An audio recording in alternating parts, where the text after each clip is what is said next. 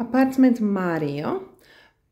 It's for two persons. It's in the village Liapades, 20 minutes walk from the nearest beach.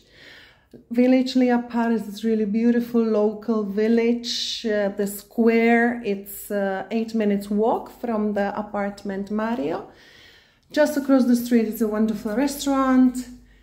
Um, there are two bakeries just next door four minutes walk it's a supermarket. Two minutes walk it's two really nice coffee places. Uh, there are a couple of really nice restaurants within five minutes walk and everything it's easy to reach. There is a nice balcony overlooking the beautiful scenery of Liapades